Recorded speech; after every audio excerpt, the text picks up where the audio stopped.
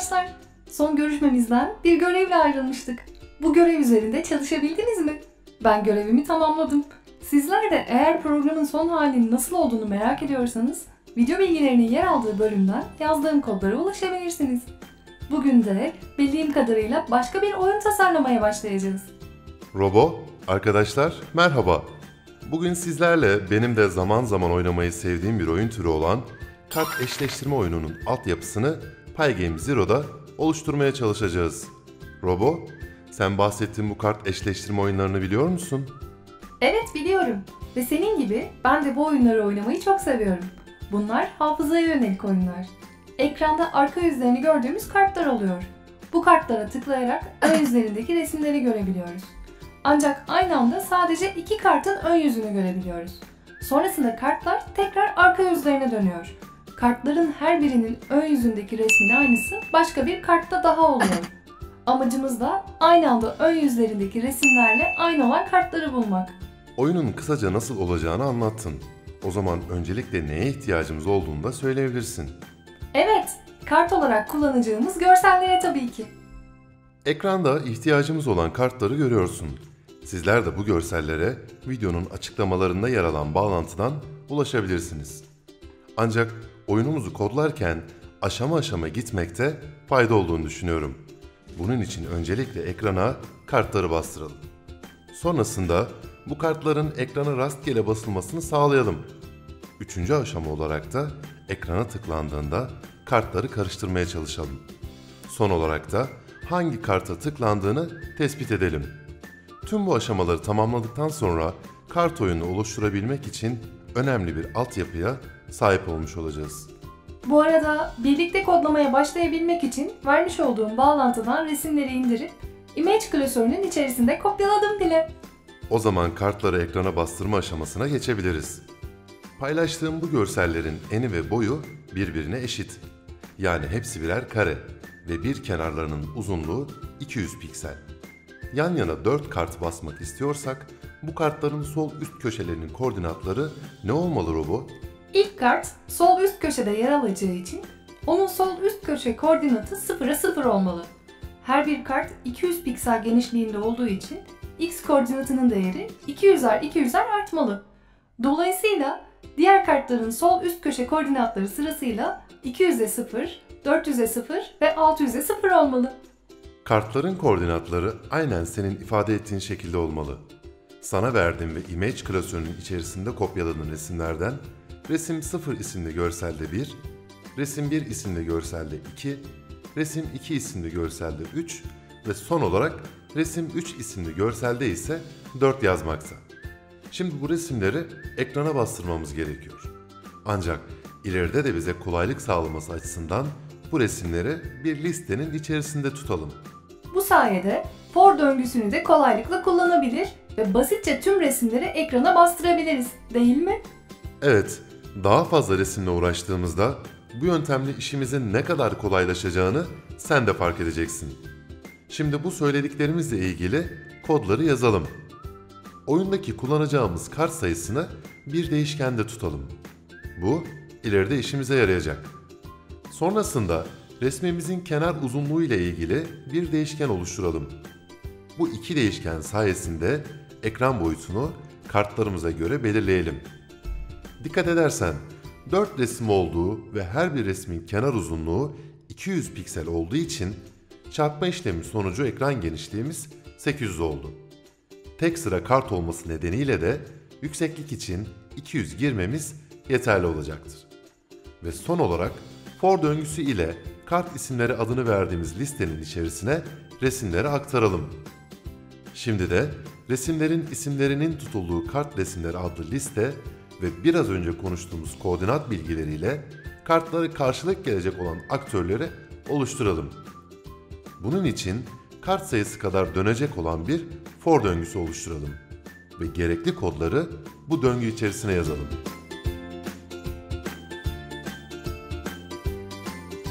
Burada kart resimleri listesine append komutu ile ekleme yaparken resim artı str parantez içerisinde i gibi bir ifade dikkatimi çekti. Bunun haricinde de kart alt çizgi resimleri nokta pop şeklinde bir kullanım var. Peki bunlar ne anlama geliyor? İlk sorundan başlayalım. Artı operatörünü normalde sayıları toplamak için kullanıyoruz. Ancak iki metin ifade arasında bu operatörü yazdığımızda metin ifadeleri birleştirebiliyoruz. Yani resim kelimesiyle for döngüsünün sayaç değişkeninde tutulan değeri birleştiriyoruz. Sayaç değişkeninin içeriği bir tam sayı olduğu için onu öncelikle metin ifadeye dönüştürmek gerekli. Bunu da str komutu ile gerçekleştiriyoruz. Böylece sayaç olarak kullanılan i değişkeni aracılığıyla tek seferde resim 0, resim 1, resim 2 ve resim 3 kelimelerini elde edebiliyorum. İkinci soruna gelelim. Pop komutunu ilk defa burada kullanıyoruz. Bu komut bir listenin son elemanını listeden çıkarır ve çıkartılan bu elemanı değer olarak döndürür. Yani burada kart resimleri ismini verdiğimiz listeden son kart ismini çıkarıp değer olarak da bu kart ismini çekilen resim ismi değişkenin içerisine yazıyoruz. Anladım sanırım. Devamında da yeni kart isimli değişken ile bu resmin adını taşıyan görseli kullanarak bir aktör oluşturuyoruz. Aktörün sol üst köşesinin x koordinatı da resmin kenar uzunluğu ve döngü değişkeninin çarpımından geliyor. Y koordinatı bütün kartlar için 0. Çünkü sadece bir satır var. Bu aktörde kartlar değişkenine ekleniyor. Yazdığımız kod for döngüsü sayesinde kart sayısı kadar tekrar edince kartlar listesinin içerisinde koordinatları istediğimiz yerde olan aktörleri elde etmiş oluyoruz. Buna ek olarak kart resimleri isimli listeyi de boşaltmış oluyoruz. Bu arada dikkat edelim. Kartlar isimli liste içerisinde kartlar 4'ten 1'e doğru tersten sıralı şekilde bulunuyor. Artık geriye sadece bu kartları ekrana bastırmak kaldı. Hadi onu da hızlıca yapalım. Öncelikle ekranı temizleyelim. Ardından kartlar listesinde bulunan her bir kartı alıp ekrana basalım. Bu komutları draw fonksiyonu içerisinde yazdığımız için sonuçlar ekranda görünecektir. Artık ikinci aşamaya geçebiliriz. Evet, kartları karıştırarak ekrana yazdıracağız değil mi? Evet, bu iş için yeni bir döngü türü göreceğiz. While döngüsü. Önceki videolarda while döngüsünü daha sonra inceleyeceğimi söylemiştin. Sanırım zamanı geldi. Evet, for döngüsü genel olarak başlangıç, bitiş ve adım sayısının belirli olduğu durumlarda kullanılır. Bunun dışında programcılar döngünün çalışmasını bazen koşula bağlamak isteyebilirler. Yani belirli bir koşul sağlandığında döngünün çalışmasını isterler. Örneğin, kullanıcı adı ve şifre kullanılarak girilen bir uygulamayı düşün. Uygulamada kullanıcı adı ve şifre doğru girilene kadar kullanıcılar veri girişini yaparlar.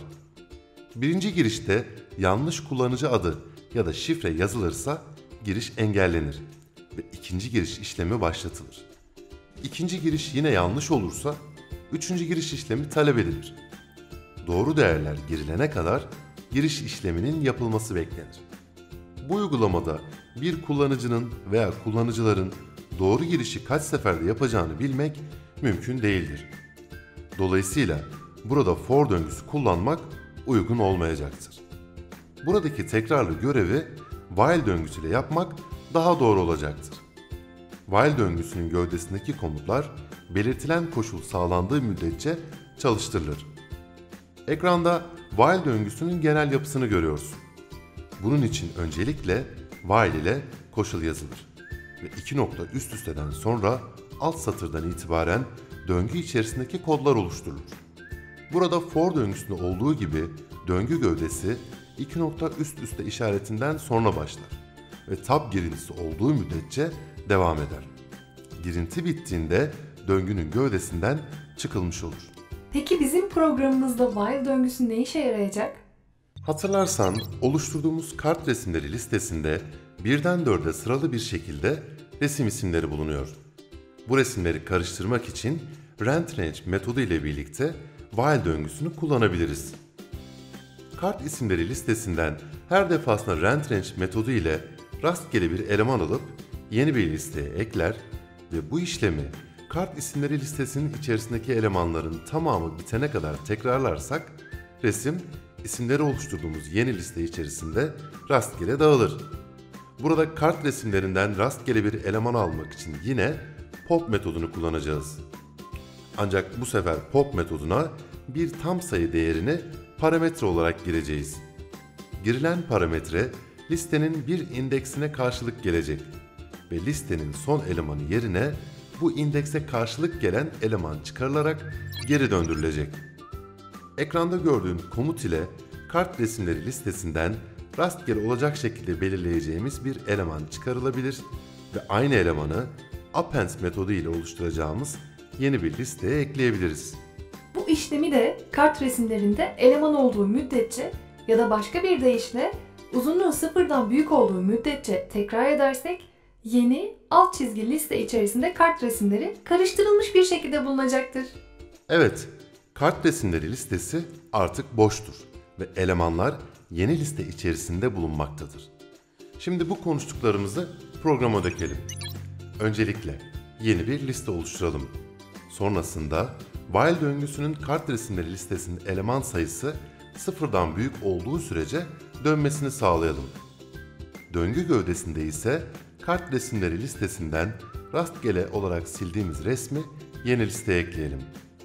Artık yeni listenin içerisinde resimler karışık bir şekilde bulunduğu için yeni listeyi kart isimleri listesine atayabiliriz. Daha önce anlattığımız üzere rand range metodunun çalışması için programın başına from random import ifadesini yazmayı unutmayalım. Bu ifade yazılmazsa program çalışmayacaktır. Programın tamamlanmış halini ekranda görüyorsun. Şimdi de bu programı çalıştıralım. Artık program her çalıştırıldığında ekranda görünen kartların sıralaması farklı olacaktır. Robo, arkadaşlar, siz de bu kodu tekrar tekrar çalıştırarak değişikliği gözleyebilirsiniz. Evet, ben de aynı sonucu elde ettim. Artık kartlar sürekli olarak her seferinde farklı sıralamada ekranda görünüyor. Şimdi sanırım kartlar üzerine tıklandığında karıştırma işlemini gerçekleştireceğiz. Yani her seferinde programın tekrar çalıştırılmasına gerek kalmayacak. Evet Robo, bunun için farenin sol tuşunu kullanabiliriz. Dolayısıyla on mouse down fonksiyonuna ihtiyaç duyacağız. Bunun için gerekli olan komutları sizin için oluşturuyorum.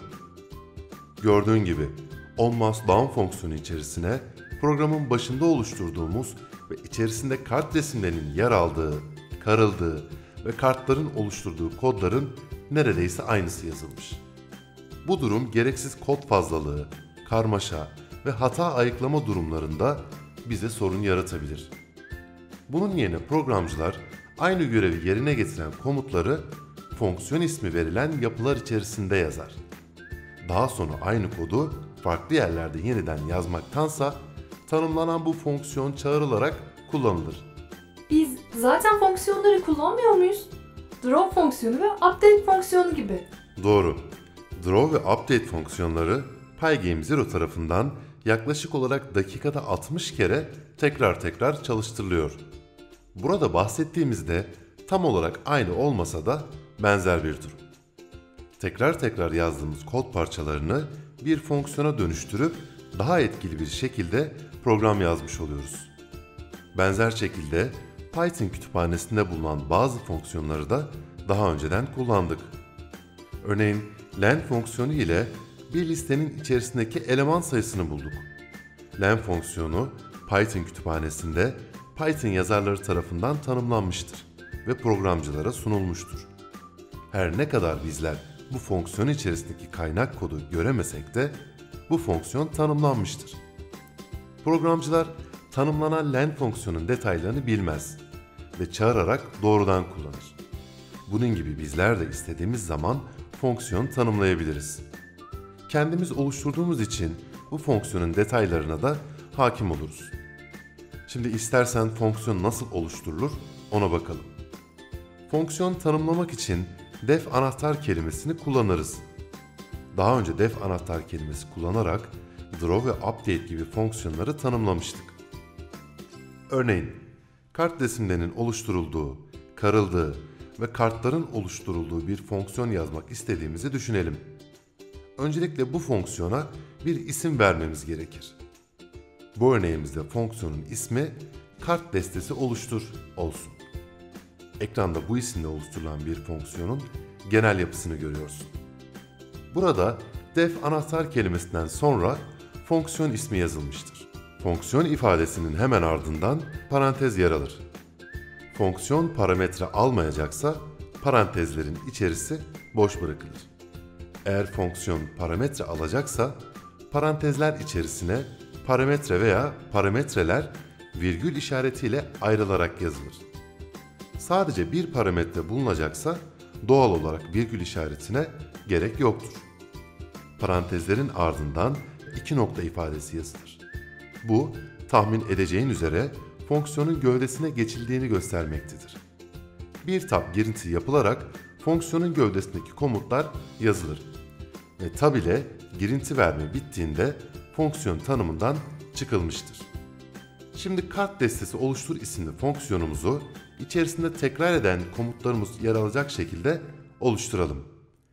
Tanımladığımız fonksiyonu kullanmak için onu ismiyle çağırmalıyız. Programın içerisinde yeni bir kart destesi oluşturmak istediğimiz tüm durumlarda kart destesi oluştur komutunu yazarak bu işlemi gerçekleştirebiliriz artık. Ekranda bu fonksiyonun kullanıldığı bir örnek görüyorsun. Fonksiyon iki farklı yerde çağrılmış ve kullanılmıştır.